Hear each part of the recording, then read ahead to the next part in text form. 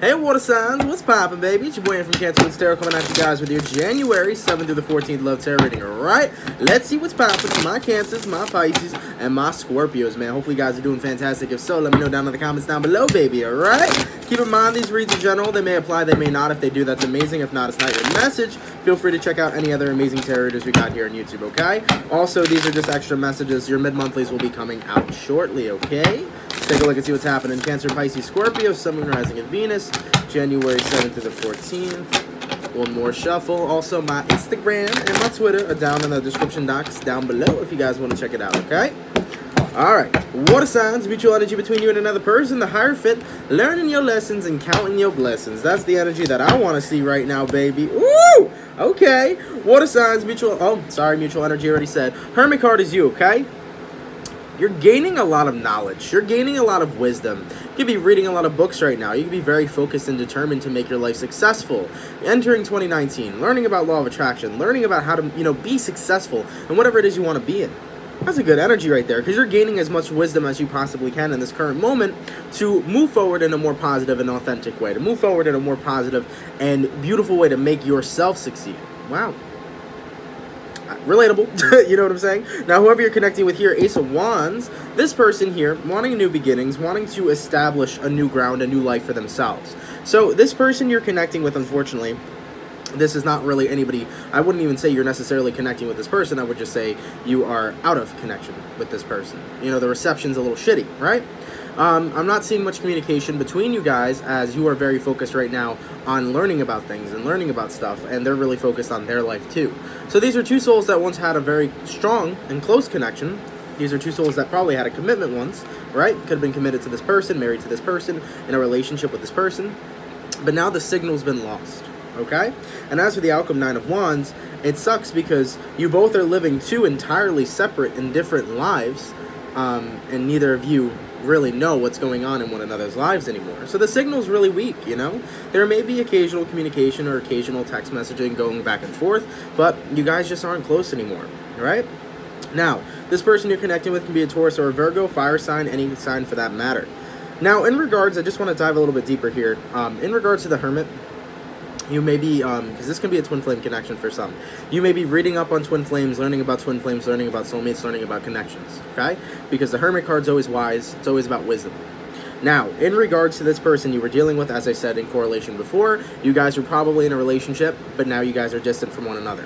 So as for the outcome, what's really sad about this outcome is that with this Nine of Wands, you both are living two completely separate lives, but neither of you know what's going on in one another's lives you know and you both are looking for success you both are looking for happiness um, but you guys are doing it individually all right so what we're gonna do is we're gonna go over their feelings your feelings where the energies are aligning and the outcome for the week okay now in regards to this person when I'm looking at their feelings, um, it's basically their feelings of being away from you, okay? So let's take a look. In regards to who you're connecting with here, it's going on for the water signs.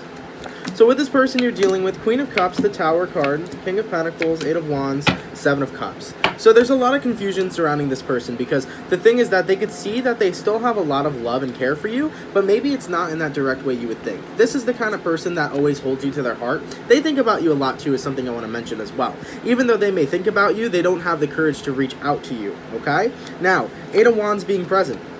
Like I said, the restriction to reaching out from you or to you because Seven of Cups being present as well, this person you're connecting with here is very confused on what it is they even feel for you.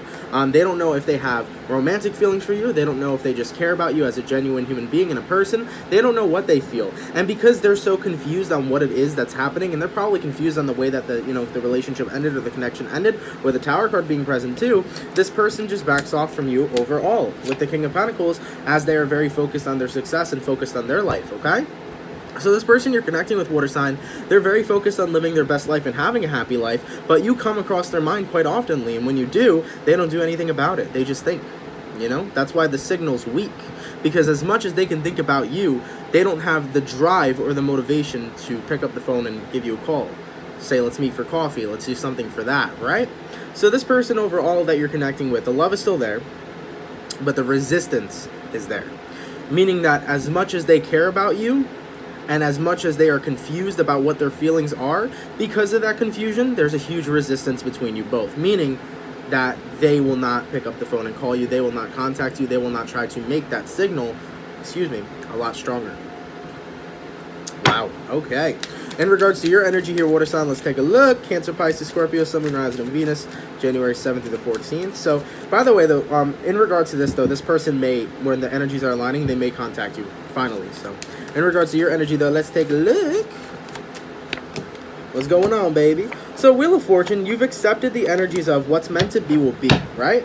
But at the same time, even though you're accepting what is meant to be is meant to be, you are still hurt over this and you still do reminisce in the past. Um, with the Five of Cups being present, you probably have a lot of, you know, grievances, a lot of regrets about the way that things planned out, a lot of regrets about the way that things ended. And with the Six of Cups, of course, this is you reminiscing and thinking about that person. So what's interesting is that you two are still thinking about each other. So when we're talking energetically, that is open. You are open to this person and they're open to you. Meaning that you guys are still connected energetically. There is no cord cut, there is no break from that. But in the physical, that's where the disconnect is. So energetic wise, you guys are still connected, okay? Especially if you guys have been intimate. That's a soul that's a soul tie right there. But in the physical, that's where the disconnect is, okay? Now, Queen of Swords, King of Wands, you kind of battle your brain a lot in which I should cut this person off. I need to move on. I need to do this. I need to do that. Because you know that moving on is the best plan of action for you. You know that moving on is the best thing that you should do. But at the same time, no matter how much you say you've moved on, you still are hurt by this person. Okay? When you think about it, it's something you still crave. So it's interesting because many people say you can't move on and still love someone, but you can. You've moved on from this person, but it doesn't mean you don't have those feelings. The only thing you've moved on from is you've moved on from the idea of having to be with this person. You've accepted that if it's meant to be, it's going to be. You didn't necessarily move on from the way you feel because you can't help but feel the way you feel, but you moved on from the idea of having to be with this person, as has the other person. The issue with this person that you're connecting with, though, here, water sign, is just they are very confused on what it is they want in their life in general, okay? Is what I'm seeing here. In regards to where the energies are aligning, let's take a look here. Cancer, Pisces, Scorpio, Sun, Rising, and Venus, January 7th through 14th. Alright, in regards to where the energies are aligning between you and this person, okay, yes, embrace that shit, boo, woo, okay. So from what I can see present, though, yes, there will be a message. So Eight of Wands, you're going to get that message from that person during that week, okay? So this person's going to come back from the dead, okay? Death card to the Three of Cups. Wanting to hang out, wanting to talk, if they're at a distance from you, they can be calling you, FaceTiming you. If they're in person, they may want to meet up for coffee or something. But with the Three of Cups to the Death card, this is them coming back around to you and also noting and acknowledging that, hey, let's talk, let's catch up, whatever. With the Three of Cups being present too, though, you're going to have a good time with this person, meaning it's a positive and it's good energy. It's nothing negative, okay? Moving to the Six of Wands to the Nine of Pentacles, you're probably going to come to a realization that this person you're connecting with is recently single or is choosing to be single now, meaning that you're both on the market, boo, okay? You may be in a relationship, but if you're in a relationship and you're still in love with somebody else, you shouldn't be in a relationship at all. Just saying, baby. Okay? But with the Six of Wands to the Nine of Pentacles, this is all about saying, hey, let's give each other attention. You guys are giving each other a lot more attention now, and you're kind of making that frequency and that signal a lot stronger now, okay? Um, in the pre-shuffle, there was a star card, meaning that when I see the star card, it's all about perfect timing. And in regards to this person, now the perfect timing is there. Um, also, in regards to planetary influences, we do have the new moon in Capricorn that's going on in the 5th. Today's the 4th, so tomorrow it's going to be happening, um, as well as a partial solar eclipse. And we also have a complete eclipse, I believe, at the end of the month in the 20s, I believe the 21st or 22nd, okay? So those energies being present are invoking and inviting um, ending cycles and creating new beginnings and new cycles, okay? So meaning that you guys can exit out of this past and with the Six of Wands energy, move forward in this present moment, okay? Because this person, what's interesting is that this person you're connecting with, they think about you a lot, a lot, but they never ever ever come to you. They never ever really talk to you, right?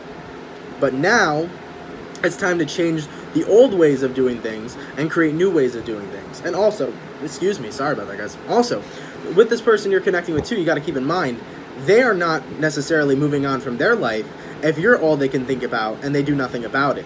So at this point, with their spirit guides and with the uh, with the planetary influences being at play, this person's going to be forced to have to talk to you and confront what their feelings are because they've been putting off their feelings for way too long. And when you put your feelings off for way too long, it's only going to haunt you. So it doesn't matter because you know you you moved on and you've accepted the idea of not being with them, but you still have feelings for them they, at the same time, they cannot move on until they figure out what the hell kind of feelings they have for you. All right? Whether they want a friendship, whether they want a relationship, or whether they want nothing, they need to decide that, okay? As for the overall outcome between you and this person, let's take a look.